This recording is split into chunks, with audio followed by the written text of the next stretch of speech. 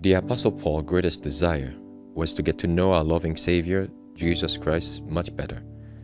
Would you like to know him? Listen to this devotional. That I may know him, a devotional by Ellen G. White. The model prayer. After this manner, therefore, pray ye.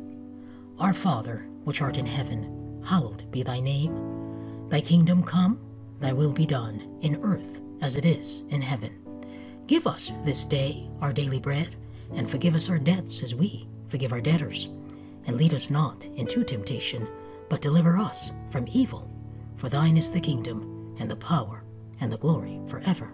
Amen. Matthew 6, verses 9 through 13. This morning, my prayer to the Lord is for his rich grace. I never choose to begin a day without receiving special evidence that the Lord Jesus is my helper and that I have the rich grace that it is my privilege to receive.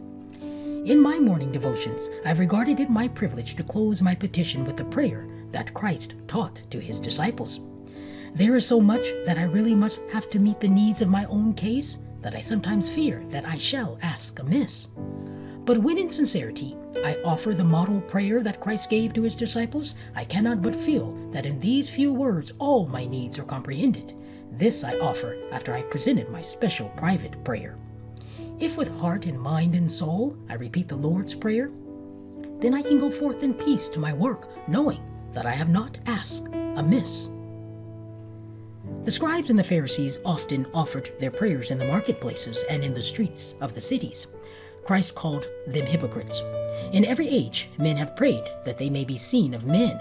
When Christ sees in his disciples errors that are liable to lead them astray, he always instructs them in the right way.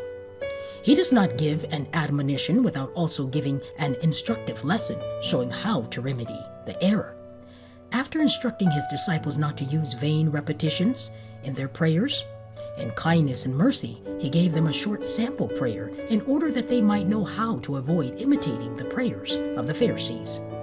In giving this prayer, he knew that he was helping human infirmity by framing into words that which comprehends every human need.